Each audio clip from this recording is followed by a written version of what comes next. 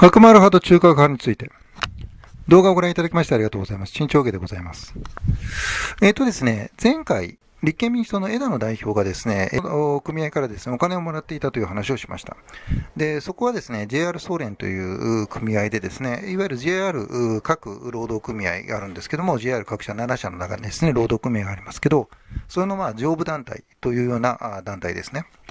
で、これはですね、えー、いわゆるその昔の道路といって、えー、いわゆる角丸系の組合であると。で、えー、その JR 総連に対抗してですね、JR 連合というのがあって、これがですね、昔の鉄路系、これはあの労使協調路線を、まあ、取っていたところなんですけど、まあ、こういうような対立があったと、まあ、ああいう話をしました。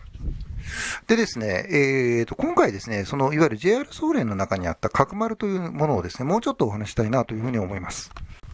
角丸派っていうのはどういうものなのかっていうとですね、実はこの角丸派というのはライバルに中核派という存在があります。これ両方ともですね、いわゆる極左暴力集団というふうに公安当局に言われているものなんですね。いわゆるこの極左っていうのは、いわゆる共産党よりも左側のことを言うんですね。まあ、これはあのトロツキストという、まあ、言い方をしますけど、トロツキーというですね、あトロツキーというですね、まあ、いわゆるレーニンのですね、後継者の人間がいたんですけど、まあ、彼の考え方を共鳴する人たちですね。実はですね、昔の共産党っていうのはですね、いわゆるマルクスからレーニン、そしてその後にスターリンというですね、流れがあった。まあ、いわゆるそのスターリンというのがですね、世界中の共産主義者の中で言うと、まあ、革命を成功させたということで、神様のように扱いを受けたんですね。えー、だけどですね、えー、スターリンがですね、1953年に死ぬとですね、本家のソ連において、このスターリン批判というのが起きるんですね。で、このスターリン批判ということによって、えー、まあ、いわゆるその全世界的なですね、共産主義者の人たちは混乱に巻き起こされるわけです。じゃあ、スターリンのライバルだったトロツキーが正しいんじゃねっていう人たちが出てきたんですね。まあ、それ以前からトロツキストっていうのはいたんですけども、まあ、世界的にですね、えー、まあ、いわゆるスターリンが正当だったもんですから、トロツキストっていうのはですね、相手に対する、まあ、悪口でしかなかったんですけど、まあ、それからですね、随分その、スポットが当たるようになったんですね。で、日本においてもですね、そのトロツキストの方がですね、いわゆる台頭するようになる。で、それがですね、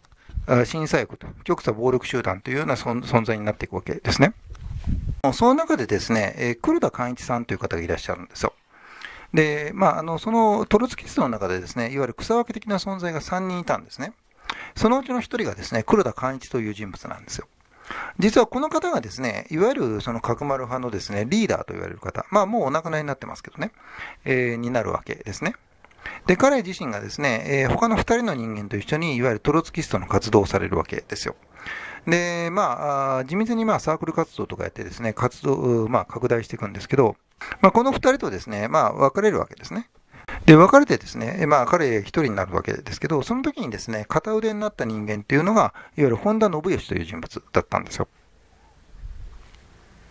実はですね、この黒田寛一というのはですね、まあ非常に理論家であって、であるがゆえに非常に権威はあるんですけども、彼自身少し病弱でですね、あんまり表で活動できないんですよ。彼に代わってですね、前線に立って活動していたのが本田信義という人物だったんですね。この黒田寛一と本田信義というのはですね、非常に、まあ、その、一人は理論家であり、病弱である。一人はですね、行動力のある活動家であるということでですね、まあ、お互いがお互いの補完し合ってなかなか良かったんですけども、まあ、いろいろあってですね、分裂するわけですよ。黒田寛一の方というのは、いわゆる、角丸派という方の作ってですね、で、えー、本田信義の方が中核派というものを作るわけですね。で、この角丸派と中核派っていうんですけど、実は角丸派っていうのは正式名称は何ていうのかっていうと、革命的共産主義者同盟全国委員会、革命的マルクス主義派っていうんですね。で、この革命的共産主義者同盟全国委員会っていうのを、まあ、略してですね、核共同なんていう言い方をしたりするんですけど、まあ、核共同系の、まあ、組織だなんてね。で、えー、もう一つのですね、えー、その組織がですね、中核派ですけど、この中核派っていうのはですね、実は正式名称に中核派って入ってないんですよ。これはあの革命的共産主義者同盟全国委員会っていうのが、あその、いわゆる彼らの正式名称なんですね。あの、中核派っていうのは入ってないんです。じゃあ中核派ってどこから出てきたのかっていうと、あの、この革命的共産主義者同盟全国委員会っていうのは、いわゆるその以外に学生同盟がある。あの、学生のですね、いわゆるその組織があるんですね。で、まあ、共産党にあの民政なんていう組織ありますけど、まあ、あんなもんですね。丸学堂っていうのもですね、この角丸派と中核派が分かれたことによってですね、分裂するわけですよ。で、その時に、丸学道の方の人たちが、いわゆる革命的マルク主義派っていうものと、もう一方の方が中核派っていうふうに名乗るようになるんですね。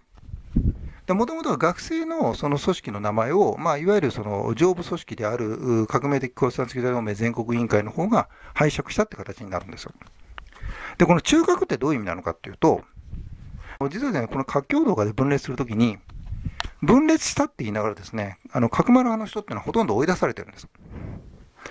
で、あの、先ほど言ったですね、黒田寛一っていうのはこの活況道のですね、創立者なんですけど、彼は創立者でありながらですね、まあ、ある種組織が乗っ取られたというかですね、それで追い出されるわけですね。で、政治局にですね、まあ、数十人いるんですけども、そのうち、黒田寛一を含めて3人しか、あその、まあ、まあ、3人以外は全部中核派に残っちゃったんですよ。で、他方ですね、学生の組織っていうのはですね、大多数がですね、角丸派の方に移るわけですね。つまり、学生側からすると、自分たちは、いわゆる中学派系の方っていうのはですね、劣勢だったんです。だけど、私たちは、本家本元の上部組織というのは、こっちが中核なんだよっていうことで中核派っていうふうに名前がなるわけですね。で、この、角丸派と中核派はなんで分裂したのかっていうとですね、これはあの、運動方針をめぐって、えー、まあ、考え方が違ったわけです。中核派の方はですね、あの自分たちと考え方が違っても、権力と戦う組織があるんだったら一緒に手を組みましょうっていう考え方の持ち主だったんですね。だけど、後に角丸派に行く、まあ、黒田寛一なんていうのはですね、我々核共同以外のですね、え組織というのは革命の役に立たないんだから、そういう奴らと手を組むべきではないと言ったわけですね。あの、もう一つあったのはですね、いわゆるその中核化系の人たちっていうのはですね、その、自分たちで地域地域に支部を作りましょうってやったんですね。あの、まあ、自民党だなんだっていう政治組織もですね、地域地域にですね、そういう自分たちの、まあ、地域組織を持ってるわけですよ。ああいうものを作りましょうって考えていたんですけど、あの、いわゆる角丸派遣の人っていうのは、そんな意味は、ことは意味がないと言って、いわゆる既存の、既存の、まあ、労働組合だとか学生組織だとかっていうふうに乗り込んでいって、そこをまあ、掌握しましょうっていうふうに考えるんですね。ちなみにそのですね、えー、組織に今乗り込んでいって掌握するっていうことにうまくいったっていうのが前回お話ししたですね、道路という組織であって、そしてですね、そういうところを掌握して、えー、まあ彼らはですね、政治活動、自分たちの革命運動っていうのを勤しんでいたわけですよ。これが、あまあ、いわゆる中核派と角丸派の分かれたですね、えー、理由なんですね。で、これでですね、まあ、分かれてしまってですね、まあ、お互いがお互いに、まあ、内毛場というようなことをやるようになるわけですよ。ちなみに先ほどですね、えー、政治局の人間3人、黒田幹一を含めて3人に出てったと言いましたけど、そのうちの1人というのが、松崎明という人物です。この松崎明というのが、まあ、先日、数年前、あ、数年前にお亡くなりになりましたけども、あの、道路のリーダーをやってた人。角丸派のナンバー2と言われている人で、つまり彼は黒田寛一に、まあ、従って、ずいぶん前からですね、そういうリーダーをやっている。そういう人に率いられていたのが JR 総連。そしてそういうような角丸派が仕切っているですね、労働組合からですね、金をもらっていたのが立憲民主党の枝野さん。枝野代表だっていうことなんです。中核派と角丸派というのはですね、近親憎悪もあって、もともと一つだったっていうこともあってですね、まあ、本当にまあ、あえ、血を流すですね、殺人事件まで引き起こすですね、まあ、内毛場事件というのを起こすんですね。で、その中でですね、一般の方も、まあ、随分こう、巻き込まれた。で、そういうような大迷惑をかけていた、そして現在においてもですね、公安当局がですね、まあ、監視対象にしているようなですね、組織、それがですね、角丸派でありですね、そのまあ支配下にあるというのがですね、JR 総連であり、で、そこからですね、お金をもらっていたのが枝野さんだということですね。こういうようなですね、組織からお金をもらうというのは、やはり枝野さんというのはですね、ぜひ、それに対する説明責任を果たしてもらいたいなと思います。動画を聞いていただきましてありがとうございます。またですね、下の方にブログ、ツイッター、LINE アットつけてあります。登録していただいてありがたいなと思います。あと、陳長家のショップの方もやっております。下に URL つけておりますけど、そちらの方もですね、ご覧いただけるとありがたいなと思います。最後まで聞いていただきましてありがとうございます。